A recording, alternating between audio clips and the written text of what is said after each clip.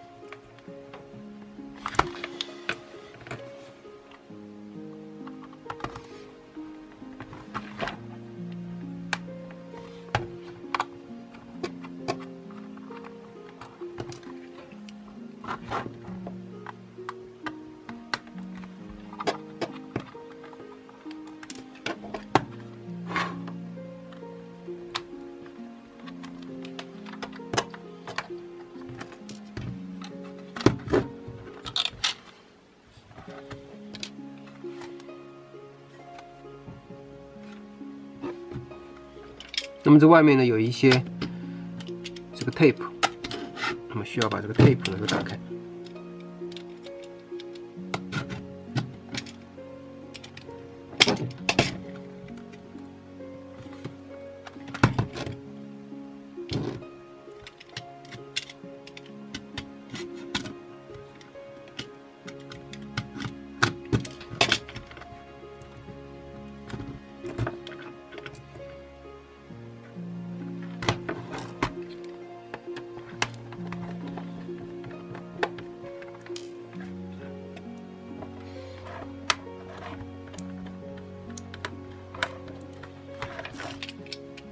那么外面的螺丝呢都要拧开。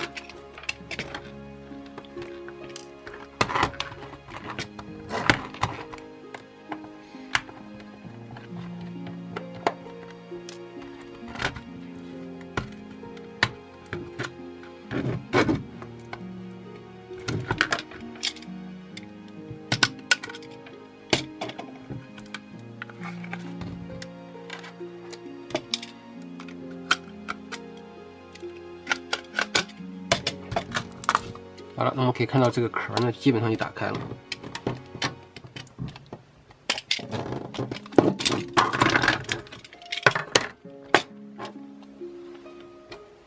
那么我们拿一个这个区别针呢，做的这个东西呢，在这个洞里面顶一下。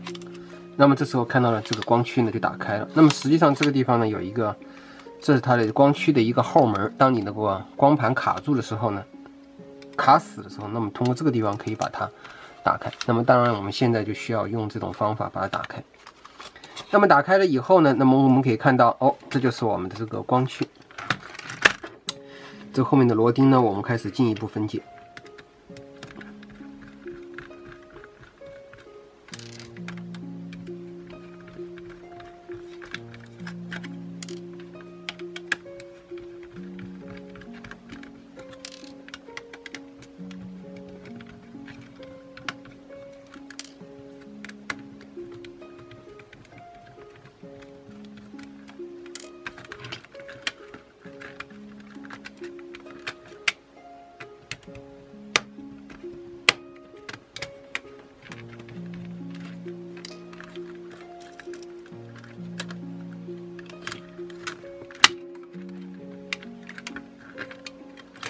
基本上这个就可以打开了。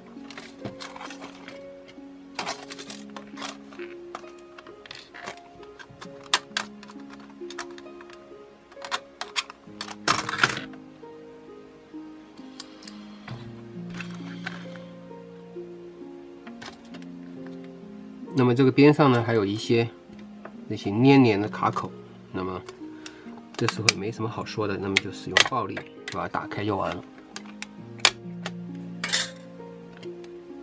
好了，那么这个时候呢，就我们这个光驱啊，就基本上全部都暴露出来了。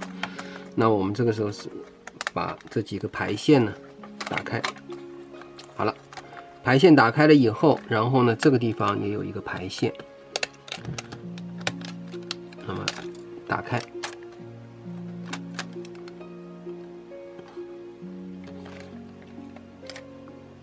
那么同样的道理呢，那么在这个后面呢也有排线，把它打开。当然这个时候其实你如果反正也是不要的，你们可以使用暴力呢，那么完全所有的东西都进行撕扯开来，这也是没有关系的。好了。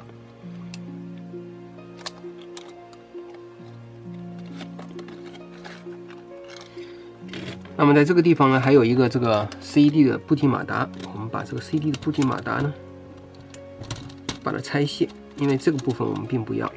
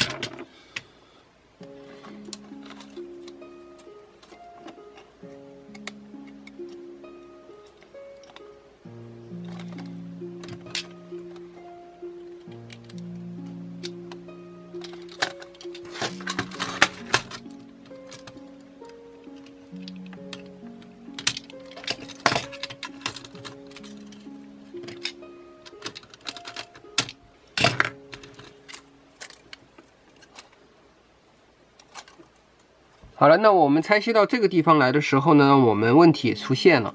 当你拆卸某一些这些微型的这个 DVD 马达的时候呢，那么并不是所有的这些光驱都是符合要求的。那么比如说这一个呢，它就并不符合要求。那大家可以看到，它这个呢是普通的 DC 马达，而不是像我这样的话呢，在这个地方是一体化的步进马达。那么如果你遇到了这种 CD-ROM 的话呢，那么嗯。这个就是不符合要求的，那么你必须再去裁一块。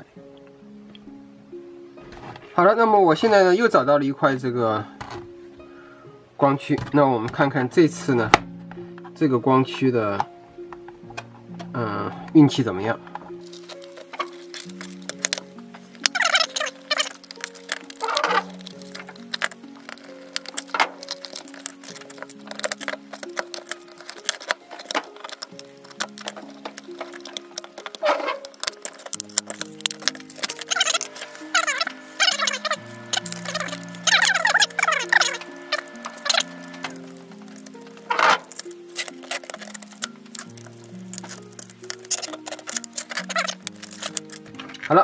可以看到呢，这个是非常的好，这是一块步进马达，所以呢，我们这是我们非常理想的一个啊目标。好了，我们把这个光驱呢打开，后面的排线呢拉开，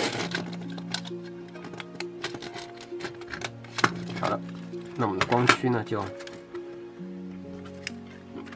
打开了，打开。那么这时候有一如果有一些线呢，那么我们因为我们不要了，割掉就完了。好了，那么这是可以看到我们的这个光驱啊就被完全的拆开。那么这些排线简单粗暴，全部割掉。那么就剩下了我们的这个所需要的光驱。那么这时候这个光驱呢，仍然嗯。比较重，因为这个地方有一个 CD 的这个驱动器，我们把它这个 CD 的驱动器呢去掉，只留下我们的这个横轴。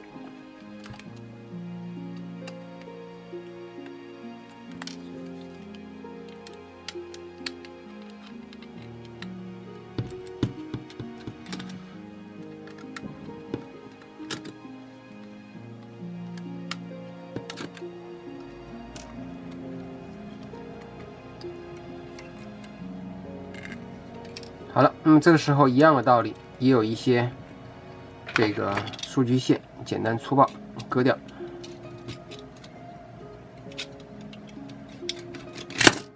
好了，这个时候就只剩下我们的这个我们的这个盒了，看，非常的漂亮。我那我们就使用这个呢，来制作我们的。那么下面一个阶段呢，我们来做支架。那么这个支架的话呢，我找到了一块比较呃厚的木板。那么你们呢，可以自己大家自己找材料。这块木板呢，那么首先呢，我先把这一块呢，呃底下的这个 X 轴，那么摆在这个地方。那么我们可以运动一下，那么大概的实测一下。那么我通过铅笔呢，画出它的这个轮廓，对吧？画出它的轮廓出来。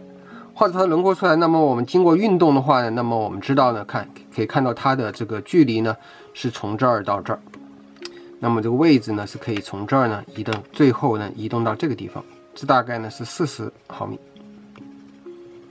这是四十毫米的移动距离。好了，那么下面的问题呢就是要设计我们的这个 Y 轴，那么这个 Y 轴的话，那么我们肯定是架设在这个位置。那么这个轴向呢是这么这么这么运动，这个是这么运动，这个是这么运动，它的位置呢显然不能在这个地方，那么当不然的话呢就没法去交叉了。那么我现在的设计的位置呢，那么待在这个位置，那么正好可以在这儿。那么实际上有点偏差也不要紧，因为底下的这个台面呢可以在呃进行自由的调动。嗯，因为你的最后的那个画板或者是其他的那个光刻板呢。不一定就在停在这个位置，你可以多出来一点，少出来一点。那么这样的话呢，可以自由调整。那么基本上呢，现在位置是这样的。那么我在这个地方呢，又画了一条这个呃线。好了，然后呢，这个木板呢，考虑到这个木板的厚度呢，如果我架设在这个木板的厚度大概有这么厚，对吧？这是木板的厚度，这是木板的厚度。木板的厚度以后呢，我们后面还要在木板的后面呢架设电路。那么我希望呢，留一定的这个空间。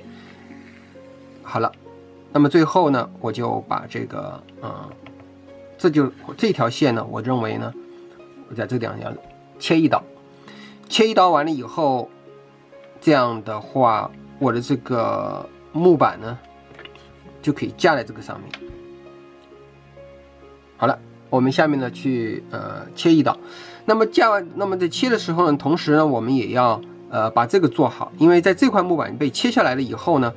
我们可以看到，哦，这是我们的这个最宽的距离，这是这个轴的最宽的距离。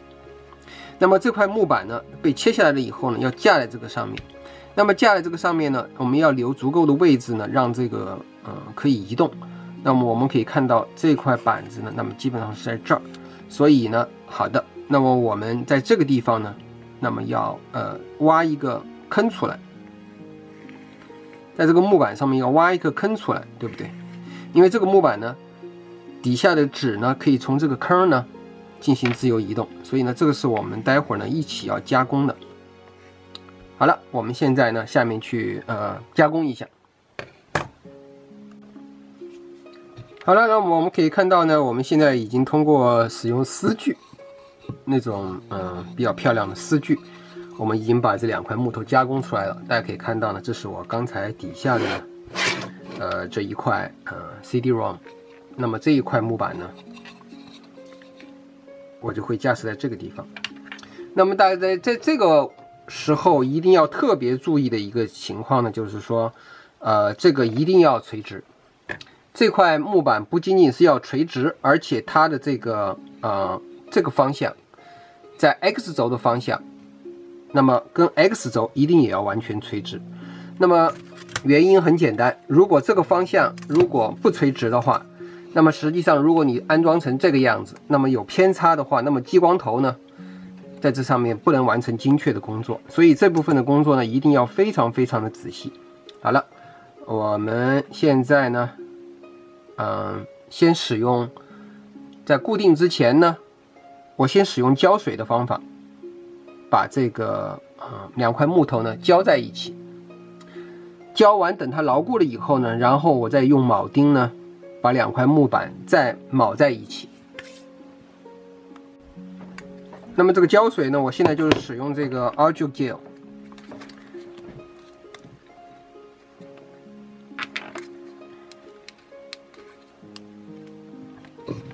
那么轻轻的把这些 a r g u g e l 呢，那么撒在。湿柜子在这上面湿柜子一点点就可以了，不用湿柜子太多，因为待会儿呢，我仍然需要用这个，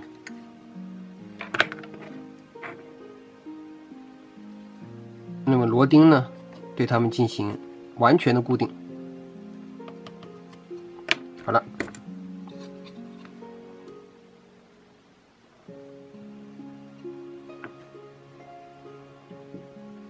那么在这个时候呢，我们力求要保证呢，跟 x 轴呢是完全水平的、垂直的。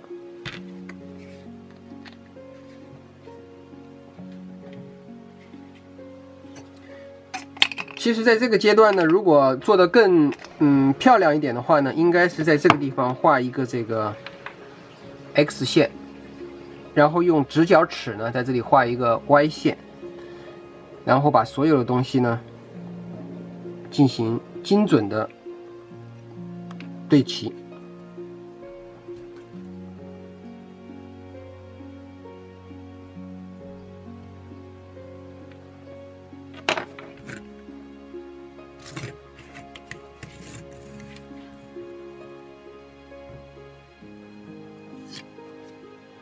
那么至于这一块 X 的这个 CD-ROM。那么我打算呢，就简单的使用双面胶，把它胶在这个底板上，而不使用螺钉固定的方法。这个原因呢，是因为我们的这个项目呢是激光的时刻。这个激光的时刻呢，因为它对这个振动各个方面的要求不是太高，所以我就把它直接装在我的这个双面胶上。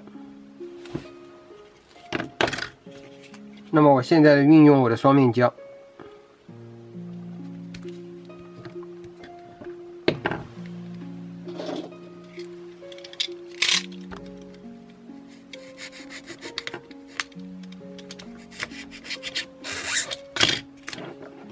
那么精准的呢，把这个它的形状呢刻出来，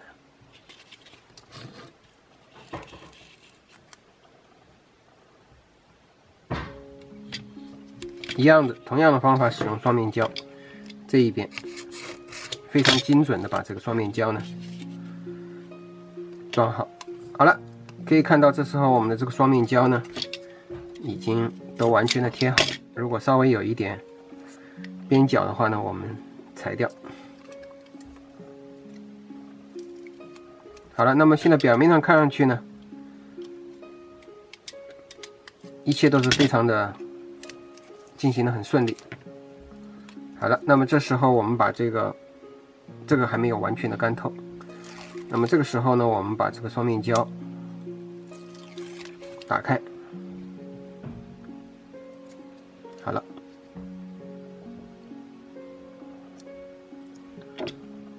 这时候呢，也要保证这个横轴基本上目视的方法呢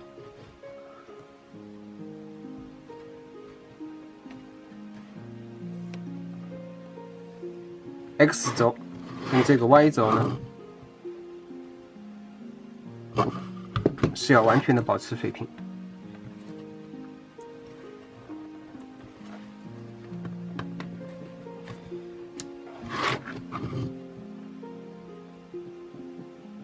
么通过各个角度呢，那么目视来看，那么我是觉得还是比较满意的。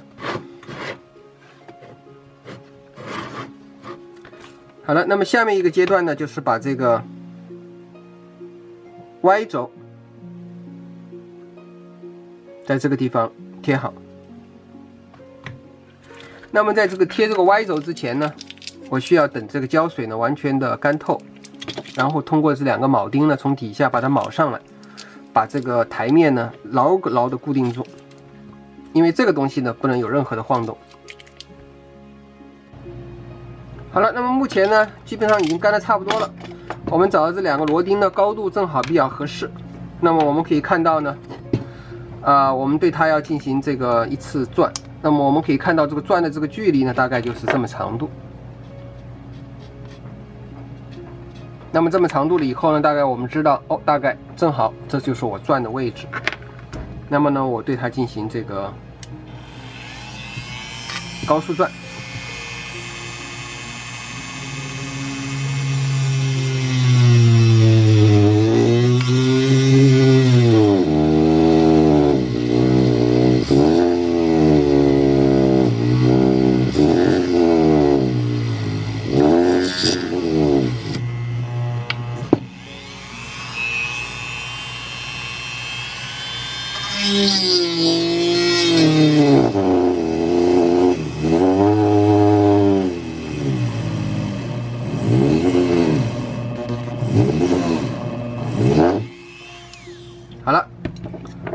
个转呢就轻松的完成了。那么我们呢，这个使用这个转枪呢把它转入。好了，漂漂亮亮，so far so good。这个时候呢，仍然不忘了回来看看我们这个是不是有错动。那么胶水是很厉害的，因为我用的是 gel 的那种 Argel gel，是非常的强力的胶水。好了，因为我使用的是高速转呢，动力是不够的，所以呢，这时候呢不能太不能太 crazy。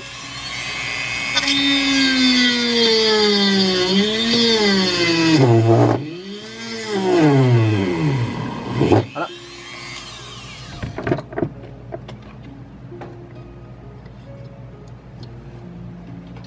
同样的方法。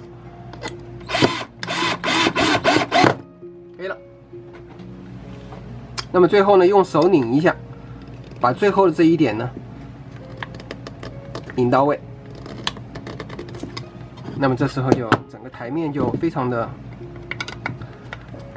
漂亮，没有任何的丝。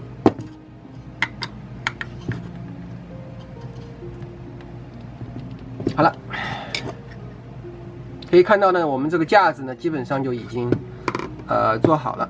可以看到，嗯，这就是我们的这个小门儿，看见了吗？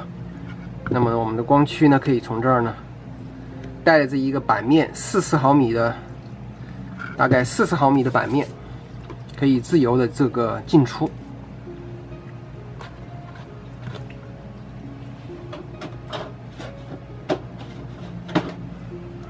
那么为了保证呢，我们这个可以看到，我们现在这个门呢，现在是七十毫米。所以这个地方是七十毫米的宽度，那么四十毫米的这个，呃，这个轴距的话呢，是完全是可以通过的。好了，那么我们这个阶段呢就做完，那么我们下面呢开始安装我们的这个 Y 马达。那么 Y 马达呢也是一样的方法，我们可以看到这有一个呢头，那么我们当然不希望这个头进行阻挡，我们希望这个平滑的部分呢。哦，实际上这两面都有头，啊，那就没有办法了，头就头吧，要不我们就用嗯刀子把它裁掉，或者我们就用刀子把这边的头，因为大家可别忘了，因为这个地方是马达，马达呢这个地方还要布线，所以布线的话呢也有一部分的头会出来，呃，如果。那么理想的情况的话呢，我们如果把这边砍到砍掉的话呢，实际上这个也有一定的，也有一个小头出来。嗯，我觉得关系不是太大。那么我最后的决定呢，就是把这个头给它去掉，用钳子把它去掉。我觉得可能就会比较呃理想。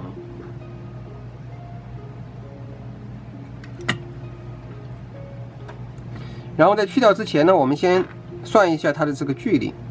我们可以看到这下面这是下面的轴轴的宽度呢，那么我们希望呢，在这个地方均匀的移动到这儿，对吧？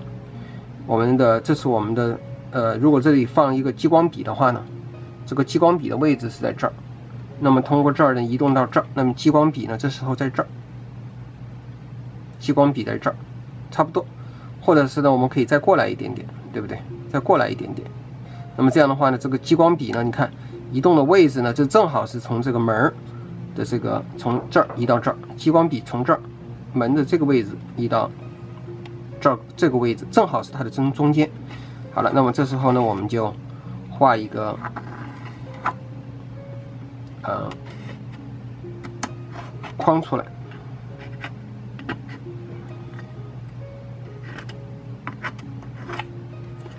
好了，那么这个样呢，就是这个样子。那么这个时候呢，我们用用钳子呢，将把这个地方去掉。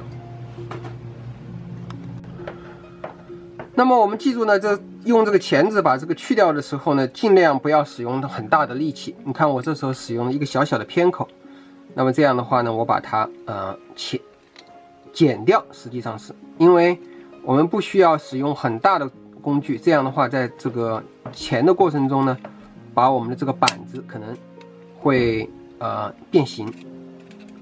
那么这个时候你可以看到，哎，非常漂亮，我们就把它剪掉。好，剪掉完了以后呢，下面我们就把这个东西呢装在这个上面来，装在这个上面来。同样的方法，嗯，我觉得呢，还是使用我们的这个呃双面胶的方法。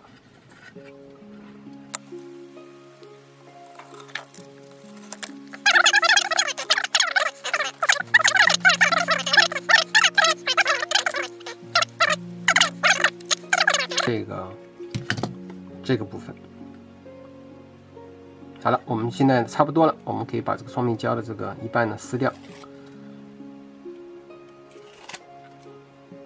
把这个机器呢比较非常也是一样，要保证它的这个水平，固定在我们这个台面上。好了，这个片呢，这两根轴线呢。要跟这个台面呢是是平行的，那么通过目视的方法呢，那么基本上是可以的。大家可以知道，如果稍微有一点偏差呢，也是嗯也是 OK 的，因为我们必定只有在四十毫米的范围内进行移动。如果是移动在这个七八十毫米的话呢，那么我们就需要非常非常的精准。那么既然只有四十毫米这么短的距离的话呢，我觉得这个嗯可以了。通过目视的方法就可以了。那么这时候可以看到呢，呃，我们的这个都是可以很自由的移动的。好了，下面的一个步骤呢，我们就是要对它进行呃电路。我们必须要这个用焊的方法呢，把这个四个线呢，步进马达的四个线呢，从这个地方呢焊出来，从那接出来。我们现在呢就做这个工作。那么这个四个马的步进马达呢，一共有四个线，两两一对儿。我们这个时候呢，你看我把这个排线呢，就呃一次选出四根。那么这四根呢，就分别对应着我们的两对的这个步进马达。那么这个线的距离呢，那么我认为从这儿看，如果到后面的接板接线板。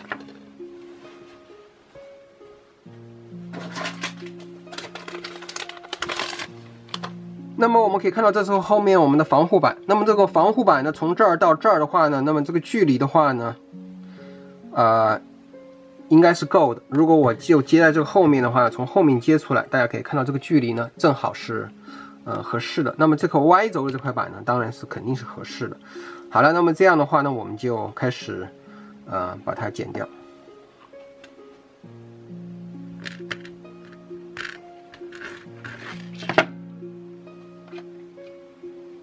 好了，我们使用包线器呢，把它进行这个非常漂亮的把它们一个个线的包掉。那么这时候，这个因为这个线呢。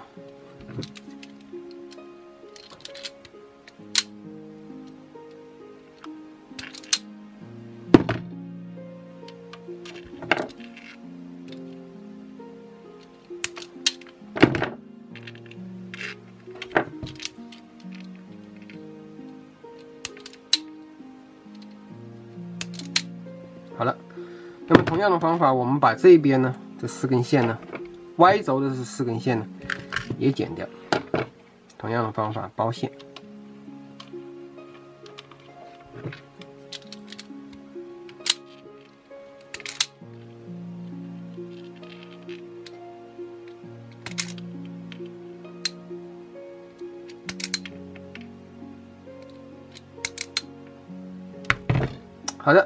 这个这时候这个四根线呢都非常漂亮的接出来了，我们下面呢就是要用这个电焊把它们焊在焊上去。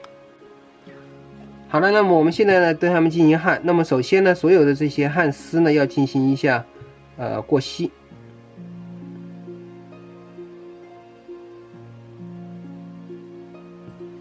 好，过完锡了以后呢，这个时候，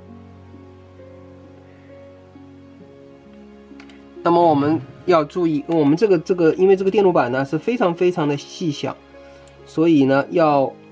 非常非常的仔细，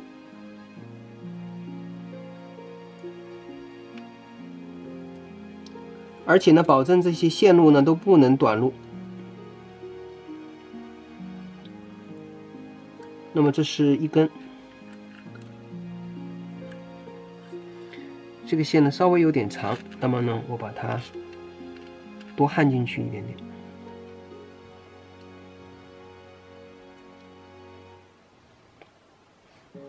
好的，这是第二根，那么这是一对儿，这个地方呢焊的短一点。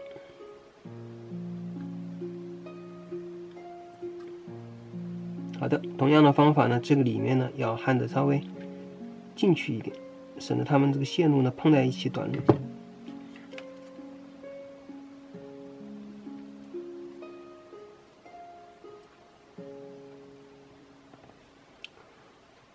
好了。这时候呢，可能再给一点细。那么这个时候呢，就基本上把这一个线焊完了。大家可以看一下的话呢，这几个部分呢，那么基本上目视一下，啊，应该是没有任何的短路。那么当然，待会儿呢，我们还要进行实际的测试一下。那么这是一块，放在一边。那么下面呢，我们来做这一块。同样的办法呢，也是先要给每一个过一下细。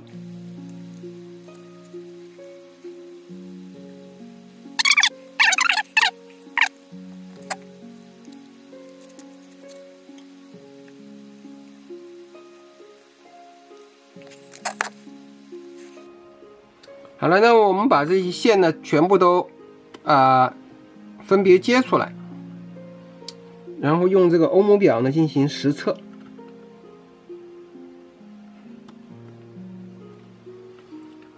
这时候我们把欧姆表呢打在这个两千的位置，我们对它们进行测试，看看里面是不是有这个短着的情况。那么我们可以看到，先测右边的这一对儿，那么这个大概呢是连着的二十二欧姆，那么呢这是理想的情况，没有任何问题。那么现在最关键的就是这条线，那么这两边线呢，因为它们是一对儿的线圈，所以它们当它们是二十二欧姆的时候呢，呃没有任何的问题。看，二十二欧姆。那么现在最关键的话呢，那么这二十二欧姆和另外的线圈呢，应该是要，哦，你看，这个出问题了。它应该跟它完全的不通，但是呢，现在居然有电，居然是通的，完，这就说明我们这这个，呃，这个 Y 线呢焊的有问题。但是没关系，我们现在看看我们的另外的这两根，这两个做的怎么样。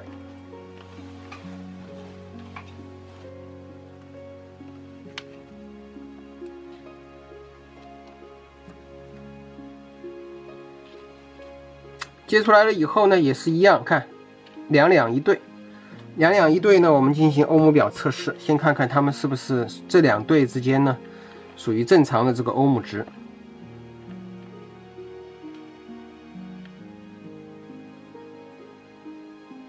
哦，那就说明这两个呢，黑的现在没有任何显示，那就说明这两个之间呢没有任何的关系。这个蓝的和绿的，它们不是一对儿。那么谁和谁是一对儿呢？我们就要找到那一对儿，看看黄的和这个绿的，黄的和绿的也不是一对儿，那就看这个金黄的 orange 跟这个 orange 跟这个绿的。好了，我们可以看到 orange 跟绿的呢，那么这是一对儿，这两头这是一对儿。因为这个也大概 make sense。你可以看到这个 orange 和绿的呢，最后是接到我们这个右边的这两个线圈上面，所以它 orange 它是，那么这个电这个马达的排列呢，那么是这是一对儿，所以呢大家就记住 orange 呢跟绿的确实是一对儿。那么我刚才我们已经测了，它跟其他的呢都是完全的没有任何的交界，这就说明这个焊的是非常的好。orange 跟绿的一对儿，那么现在同样的道理，那这个黄的和蓝的那就肯定是一对儿，他他们一定是一对儿，不然的话那就说明这是一个坏的，看对不对？也是二十二十七欧姆。好了，那么所以说呢，这个呢是焊的是非常的好。那么黄的绿的，那么就是说一三二四，那么各是一对儿，那么大家记住就就待会儿记住就行了。好了，现在的问题呢就是要。要从返工这个工这个工程，那么刚才这个工程呢，看来现在看来，呃，就是有问题。来，我们现在来，嗯，仔细的检查一下到底是怎么回事儿。好了，那么通过目视呢，确实已经看到呢，这个是有问题，是有问题。尽管非常的小，但是小也有它小的问题，所以呢，这个时候呢，需要再重新的去工作这个。位置，那么几经过多次测试以后呢，那么我认为我实在是没有办法呢，能看清楚这个太小了。我们现在的解决的办法呢，那么就是把这个马达卸下来，把马达卸下来了以后呢，对马达呢进行这个重新的焊接，我们看看会出现什么问题。到底问题在什么地方？那么我们小心翼翼的呢，把这个马达呢打拿出来看。那么大家在拿出来的时候呢，切切记切记呢，不要把其他的东西呢给损坏了。好了，那么在拿出来的情况下呢，仔细的分析这个情况。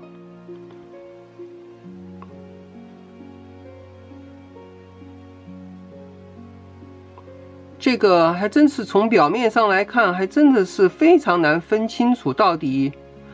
哦，那么我现在看到了，我已经完全的看到了。那么在这个地方呢，确实是有一个，呃，这个两根白线之间，那么确实有一个粘连，在这个地方确实有一个粘连。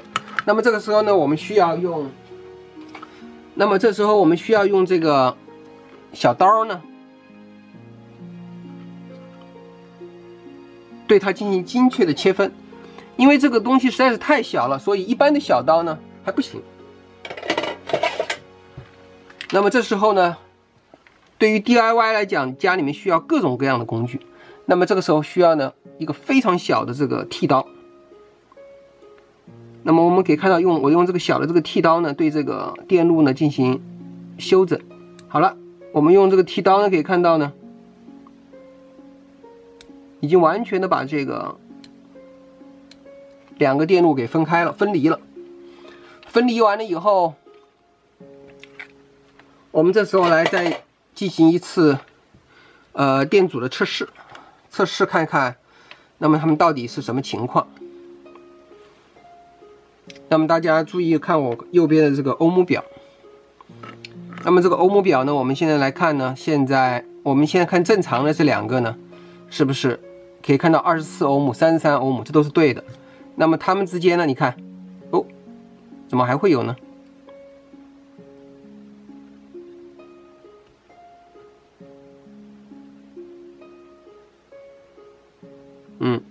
看来这个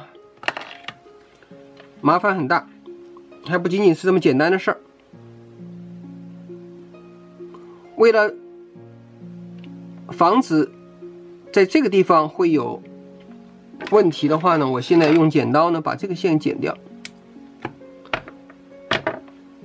它多余的排线去掉。那么这时候白线去掉了以后，那么我再一次进行这个观察，嗯，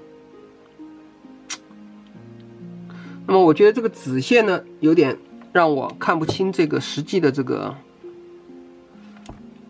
方向，那么我就把它。调整一下，我把这个子线调整一下，把这个子线拉开，把这个紫色的这个线路拉开。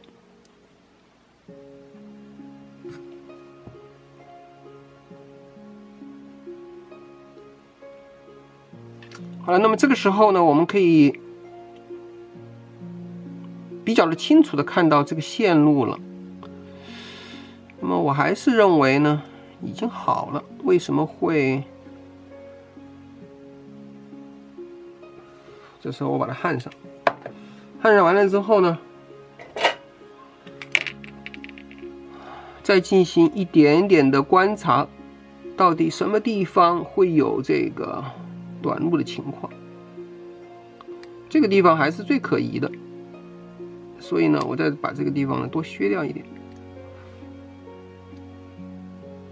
这时候可以看到，过多的锡呢都已经被我完全的削掉了。那么至于这两个地方呢，是完全的断开的，所以现在可以看来，中间的这个十字应该已经很清楚了，不应该会有任何的短路了，除非这个地方好了。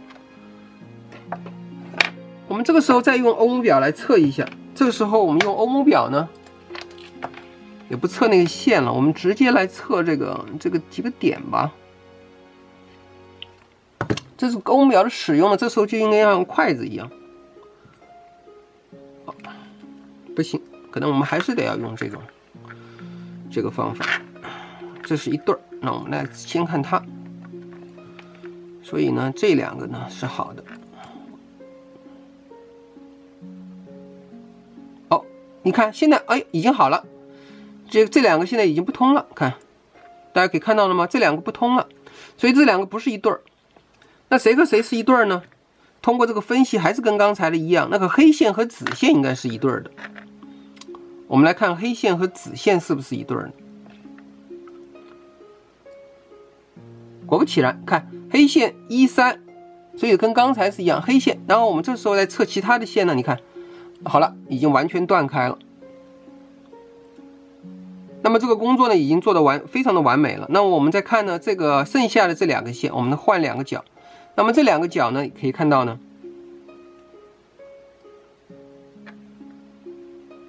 黑线和白线。哦，错了，这根。那么我们可以看到，这是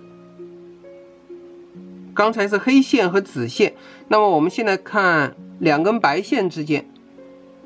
果不其然，两根白线之间，那么现在这样是完全的接通的，所以两根白线呢是通的。呃，Y 轴的两根，X 轴的两呃 Y 轴的两根白线中间两个是通的，然后呢，外面呢是呃是一是外面两个是一对儿。好了，那么这样的话呢，我们就基本上就完成了这个电路的焊接。大家可以看到这部分的工作呢，需要做的非常的仔细。如果你不是很确信这一部分的工作的话呢，那你的后面就会啊，可以肯定完全失败掉。好了，我们现在呢把这个装回来，再把我们的马达呢装回来。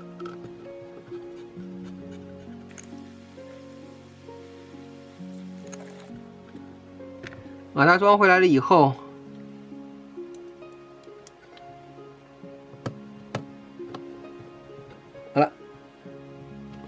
装完了以后呢，那么这时候不要忘了再测试一下，我们所有的东西都是好的。好了，那么这样的话，我们的这个就基本上全部装完了。装完了以后呢，这个时候这个线路啊，因为我们这个这些地方的这些线路都是非常的这个脆弱。那么，因为这个焊完了之后呢，这个线路呢，我们不需要它带任何的这个移动。那么这个时候呢，我们使用轱辘杠呢，把这个线路啊全部都连接在在我们的这个木头上面。好了，等它呢完全的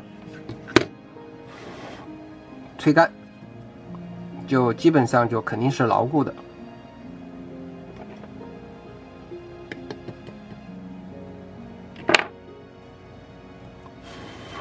好了，这个时候呢，这边呢基本上已经牢固了。我们趁这个轱辘杠呢还没有完全的这个那么凉透，那么这时候呢，我们来用轱辘杠呢把这个线路呢，呃，为了不挡阻挡那个平面，我们应该这个线路呢应该是在这个部分呢进行呃一次轱辘杠。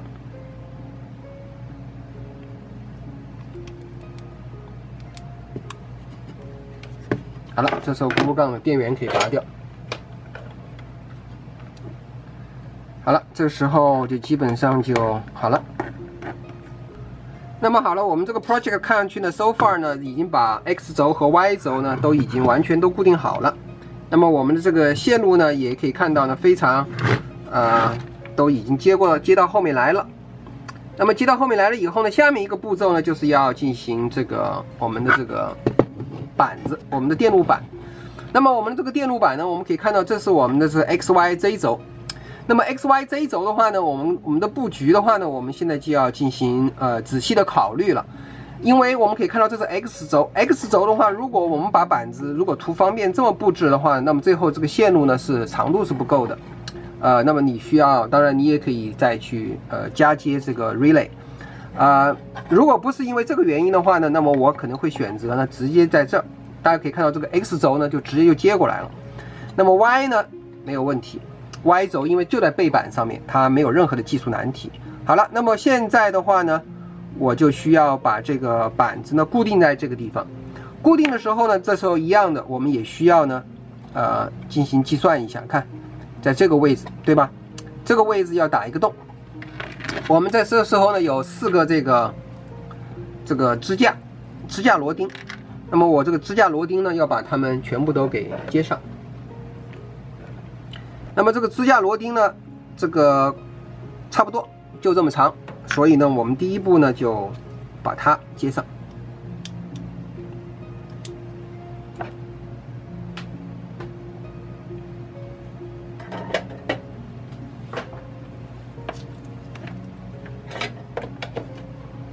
好了，一样的，我们使用我们的这个高速钻。那么这个高速钻呢，这时候呢，一定要非常的小心一点。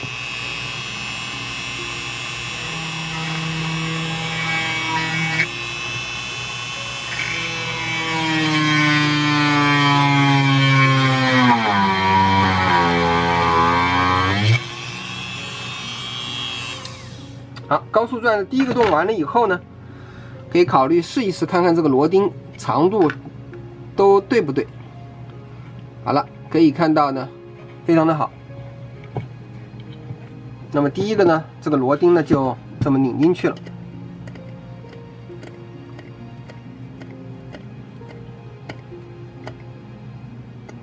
这是第一个。第一个完了以后呢，这时候啊，我决定呢不装那么多，就装不用装四个，装两个就够了。因为我讲了，这个东西呢没什么震动，不需要那么的严格，所以这样的话呢，我打算在这儿呢再转一个就可以了。在这个位置，看这个位置呢再转一个，这个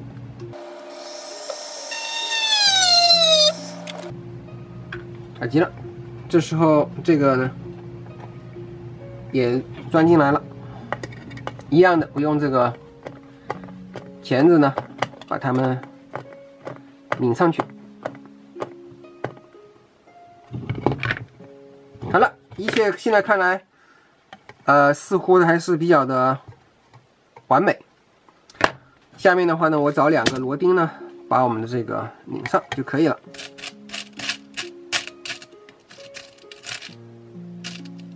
所以做做。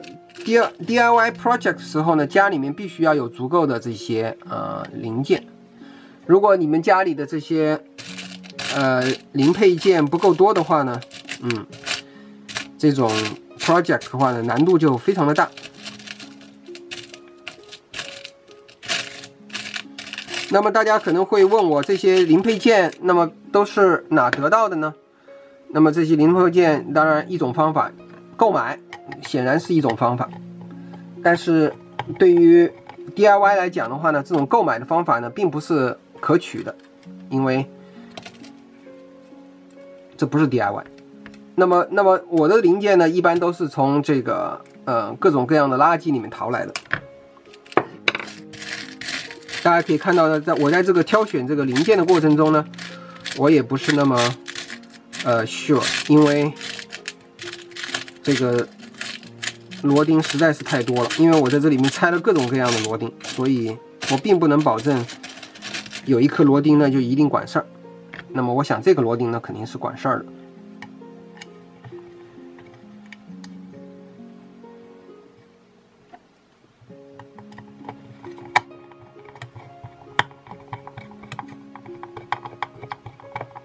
好了，这颗螺钉呢，果不其然管事儿。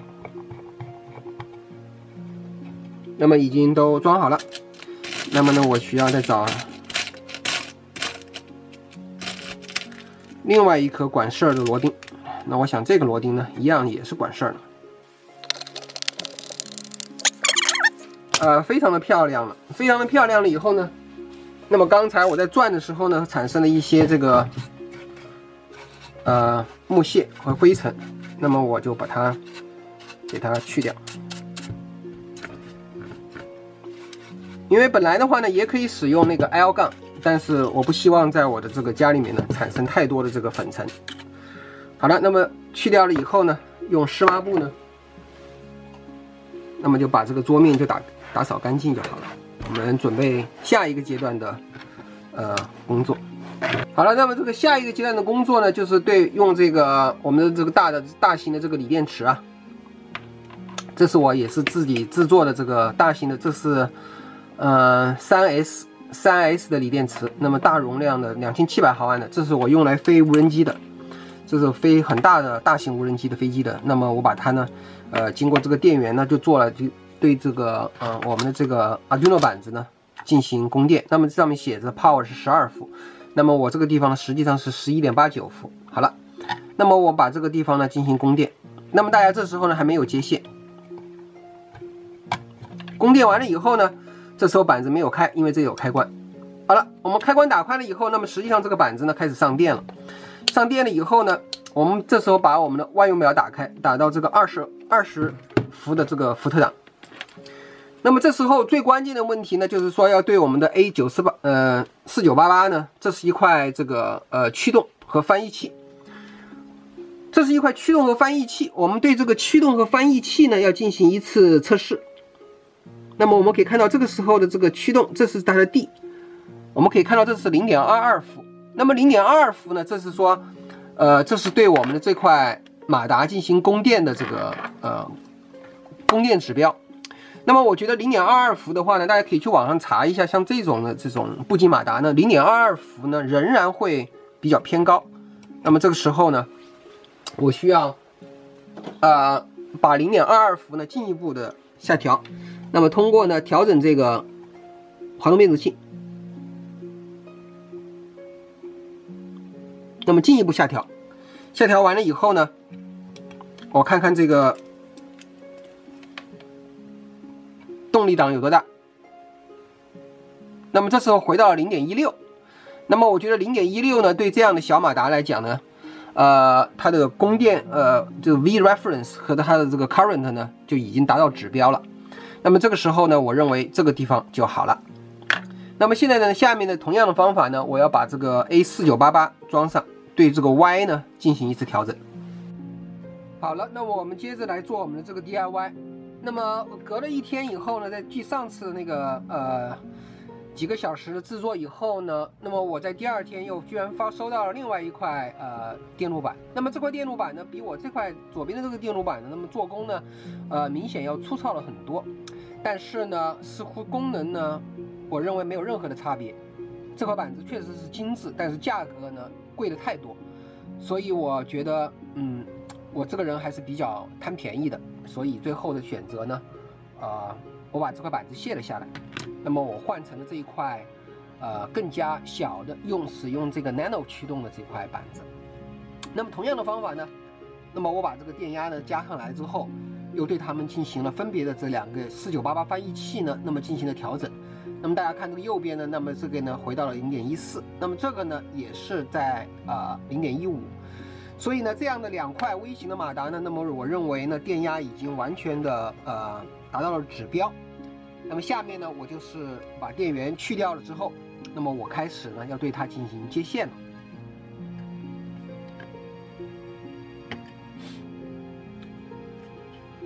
好了，那么这个接的这个线路呢，按照我们上次呃用欧姆表测出来的，我知道呢，这个一三呢是一对儿，在 x 轴方向，那么在二十四呢 x 轴方向呢又有一对儿，那么这个 y 轴的话呢是一四是一对儿，两个白线呢，那么又是一对儿。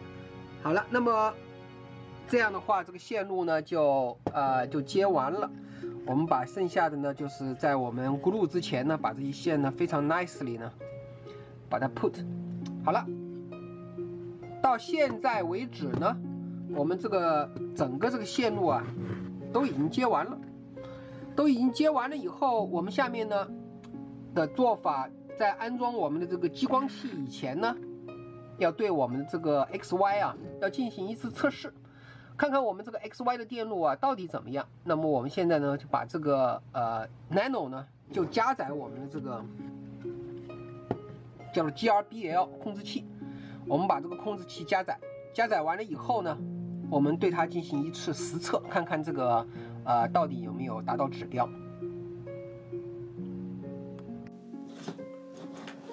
好了，那么下面呢，我们就开始呢，对我们这个板子呢进行这个呃装载我们的程序。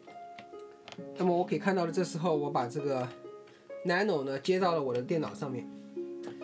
那么，Nano 接到了我的电脑上面以后，那么首先呢，我在这个 Arduino 上面呢，把我的这个这叫做 GRBL 这个上载。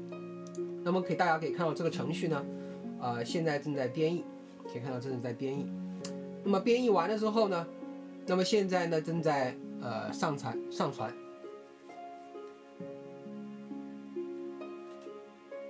那么我们稍微等一会儿。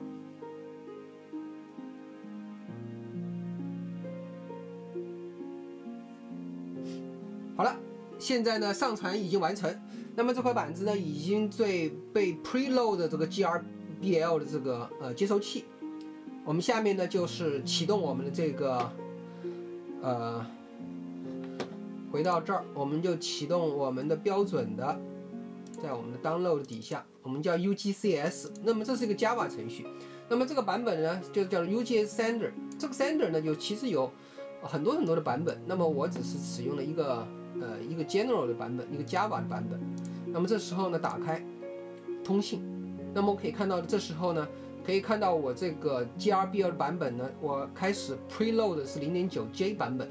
那么我们这时候可以看一看它的那个状态，dollar dollar，可以看到呢。所以这个板子呢，一切都呃非常的正常。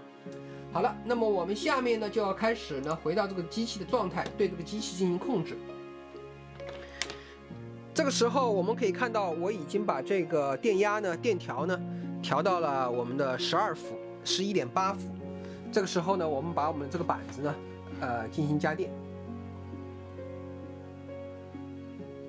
好了，大家可以看到，我们这个十二伏的电板呢已经被加上了。加上了之后呢，现在呢，我们把这个板子移动过来，我们主要就是要看它的这个 x 和 y 轴的这个，呃，这个表现怎么样。我们下面来看一看。好了，这个时候我们在这个地方呢，可以 Y 方向进行驱动。你看，哦，非常好。看，大家可以看到这个 Y 方向，在我这边控制的时候呢，Y 非非常的好。那么我们现在下来看看这个 X，哦，X 有问题，这个 X 居然有问题。那么这时候到底是什么问题？它是马达在驱动，但是它并不呃动。呃，那么我必须要仔细的检查一下，这到底是出了哪，什么地方有问题？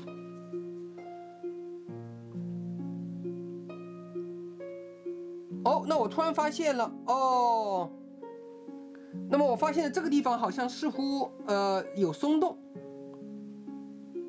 哦，我想起来了，那么这个板子呢是在我当时拆卸的时候呢，这个上面有一块那个静止的那个 CD 头。那么 CD 头呢？那么实际上这有一个弹片，所以当时在我一起拆的过程中呢，已经把这个弹片给拆掉了，毁坏了。所以我可能要呃找到我的那个废弃的那个 CD ROM，把那个东西给装回来。那么我下面去找那个东西。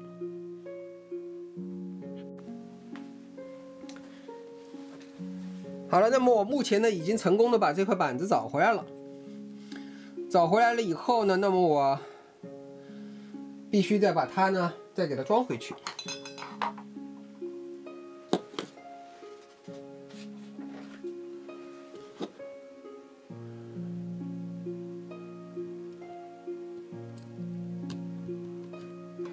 哦，果不其然，那么这个地方大家可以看到呢，这个地方是它的那个弹片。那块弹片呢，阻止了它的这个这个导轨的那个上移。那么我当时呢，就这个地方疏忽了，我没有想到这个地方居然是一个机关，我把它给拆掉了。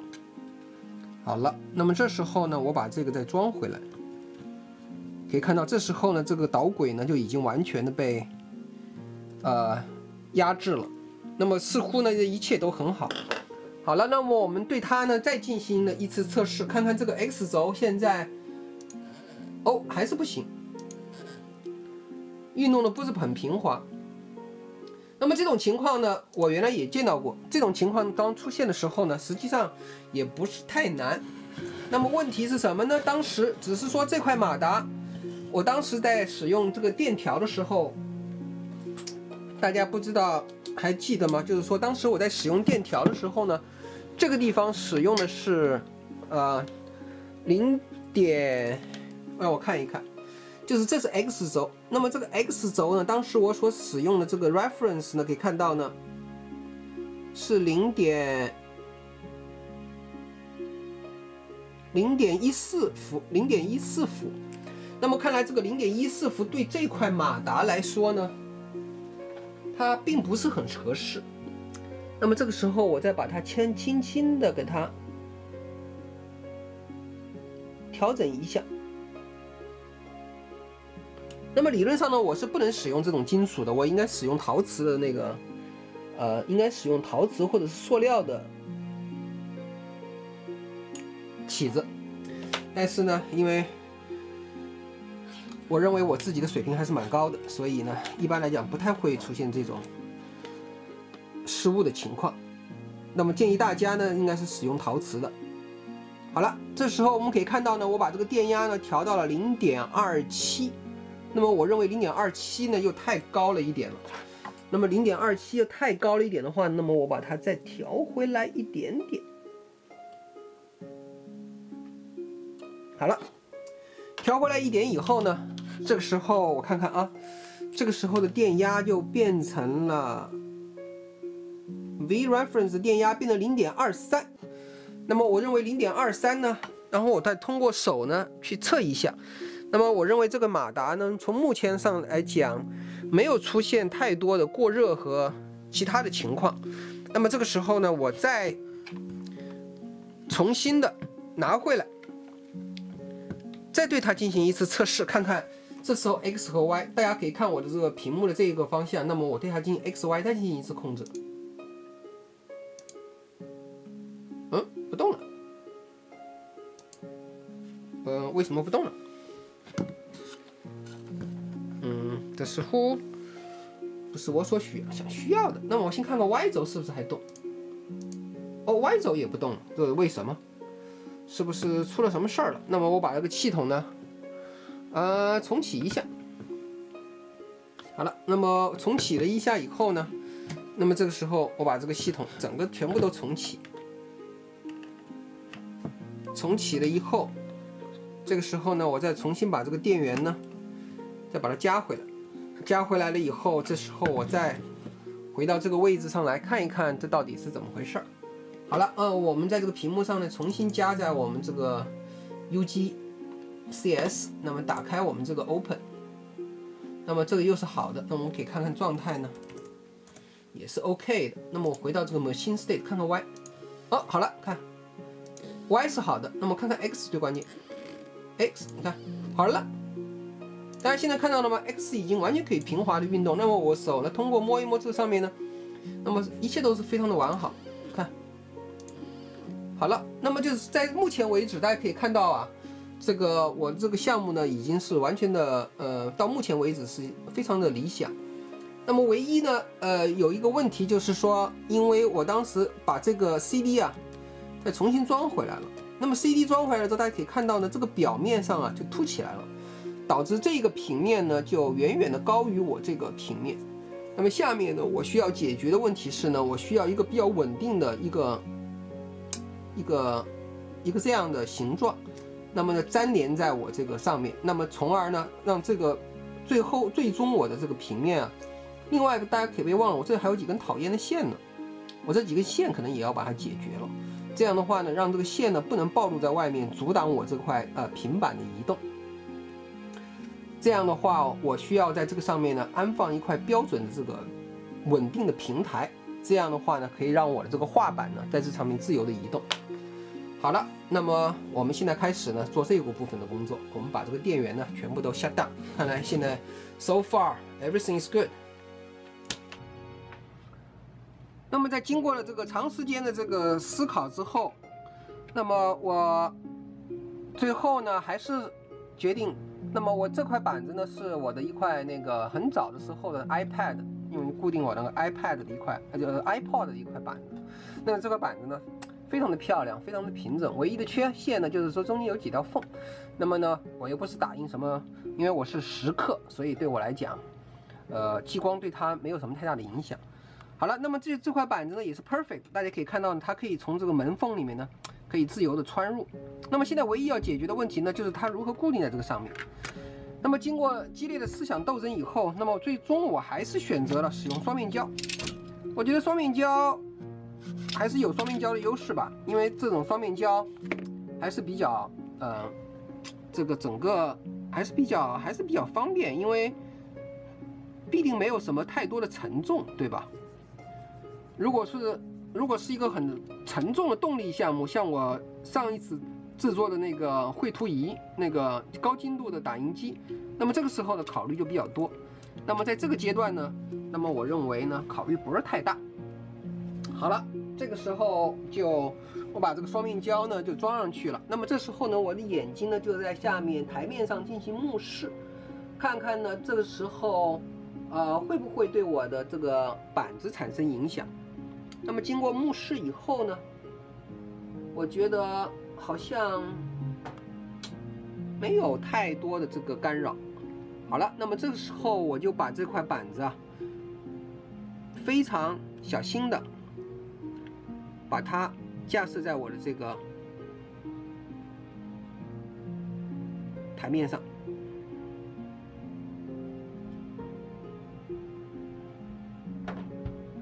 好了。这时候可以看到呢，那么我经过呃轻轻的移动呢，发现呢它们是非常的，你看，可以从这个门里面呢那么自由的穿入。好了，这时候呢我就非常放心的把我这个双面胶完全的这个固定在我这个台面上。大家可以看到，这时候这个台面非常的漂亮，非常的漂亮。那水平的话呢也是非常的，我的眼睛呢跟我现在的桌面是水平的，可以看到，呃，非常的水平。大家可以看一看呢，从这个角度看。从这个视角看呢，这个工程呢是做的是非常的漂亮。你可以看见这个玻璃面了吗？那么这个玻璃面呢，在这个上面呢是非常的水平，呃，可以在自由自由的移动。你看，没有任何的问题。嗯，好像对，没有任何太大的问题，非常的好。好了，那么现在呢，这个阶段呢，那么我认为我的工作就已经完美的都完全的完成了。那么我们下面一个阶段呢，就是要把我们的这个激光器啊，激光器的驱动电路呢，那么装上去。